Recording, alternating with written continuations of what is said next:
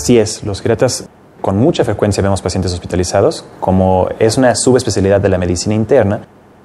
eh, tenemos un entrenamiento particular en el, seguimiento y, manejo de pacientes hospitalizados. Entonces los vemos tanto para cuestiones que decimos médicas, como enfermedades generales, como también cuestiones quirúrgicas. En apoyo obviamente al cirujano tratante, se, da se puede dar el seguimiento perioperatorio, es decir, antes de la cirugía, la valoración perioperatoria la puede hacer un, geriatra, y también el seguimiento después de la cirugía para asegurarse que no haya complicaciones en el hospital o que la, la resolución de la cirugía sea óptima y que pase el menor tiempo posible hospitalizado.